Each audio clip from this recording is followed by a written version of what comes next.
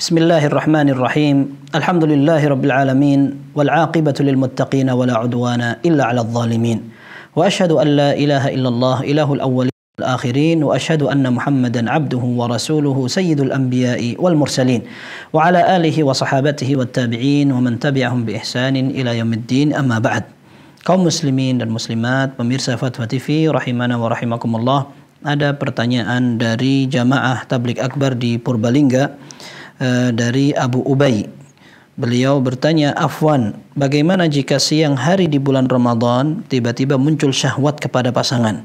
Apakah ada solusi yang disyariatkan? Jazakumullahu khaira Naam kita faham bahwa berhubungan badan antara pasangan di bulan suci Ramadan ketika seseorang sedang melakukan puasa di siang hari merupakan pembatal yang paling parah.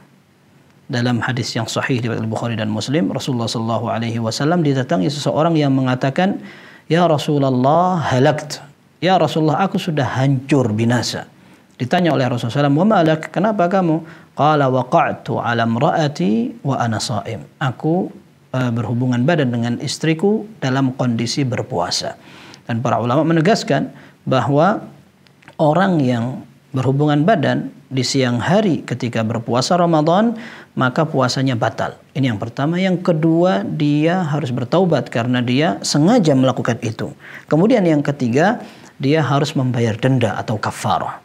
Dendanya adalah dia diberikan pilihan. Yang pertama ini sebagian ulama mengatakan ini adalah pilihan yang kedua, para ulama mengatakan bahwa itu adalah urut harus dikerjakan kalau tidak pertama baru pindah yang kedua. Yang pertama adalah seseorang e, membebaskan budak dan di zaman kita perbudakan maka memang tidak mungkin kita kerjakan pindah ke yang kedua yaitu berpuasa dua bulan berturut-turut. Dan para ulama mengatakan seorang wanita misalkan ketika dia melakukan puasa dua bulan berturut-turut ketika akhirnya datang bulan boleh dia dan dia memang harus tidak berpuasa setelah dia suci dan dia tidak sakit, dia sehat, maka dia harus lanjutkan puasa kafarah tersebut. Sampai dia selesaikan dua bulan berturut-turut. Para ulama mengatakan kalau seandainya urutan itu gagal, maka dia harus ulang dari awal. Kalau dia tidak mampu, maka dia memberi makan orang miskin sebanyak 60 orang. Dan ini merupakan denda atau kafarah bagi orang yang melakukan hubungan badan di siang hari di bulan Ramadan. Para ulama mengatakan apabila uh, dua orang melakukan dengan uh, kerelaan, sama-sama suka tanpa ada penolakan sama sekali suami dan istri, maka dua-duanya membayar denda. Dan dua-duanya harus mengkodok puasanya yang rusak di hari itu.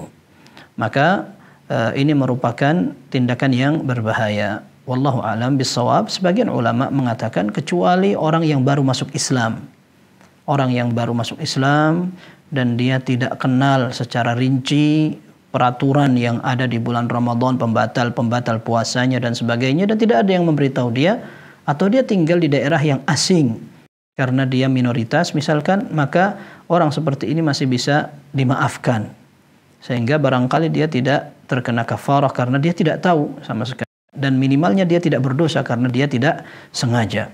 Akan tetapi orang yang sudah tahu dan sengaja untuk uh, melakukan itu maka uh, hukuman atau uh, konsekuensinya seperti yang kita sebutkan tadi. Dan tidak boleh seorang membuat skenario makar dia sengaja melakukan perjalanan untuk biar boleh berhubungan badan dengan pasangan. Ini juga tidak boleh karena itu merupakan makar dan yang akan dia tipu adalah Allah Azza wa Jalla yang Maha mengetahui isi hati. Tidak boleh seperti itu. Akan tetapi para ulama mengatakan uh, ini dalam kondisi yang sangat-sangat nadir atau jarang sekali. Ada orang yang kalau dia tidak berhubungan badan maka alat uh, reproduksinya atau anggota badan yang paling inti ada akan rusak. Ya, tapi ini jarang sekali. Kalau seandainya ada orang yang memiliki kondisi seperti ini disebutkan dalam madhab Hanabilah, dalam madhab Hambali, kalau ada orang yang betul-betul besar syahwatnya, kalau dia tidak berhubungan badan dengan istrinya, maka dia akan uh, sakit dan anggota badan di bagian itu akan rusak, pecah dan sebagainya, maka ini kondisi darurat. Nah, para ulama mengatakan dia harus mengkodok tapi tidak kafarah, tidak membayar denda. Karena ini adalah kondisi yang sangat-sangat jarang dan hampir tidak ada. Bagaimana solusinya? Solusinya tinggal kita menyelamatkan diri, terutama orang-orang yang baru saja menikah, maka dia harus lebih berhati-hati. Lebih berhati-hati, bisa datang ke masjid membaca Al-Qur'an, kemudian ketika pulang ke rumah dalam keadaan yang sudah payah, maka dia bisa diselamatkan dari uh, pembatal puasa yang membuat orang uh, membayar denda, rusak puasanya dan sebagainya. Wallahu a'lam bissawab. Sallallahu wasallam wa barak ala abdihi wa rasulih Muhammad wa alihi wa sahbihi ajma'in. Walhamdulillahil alamin.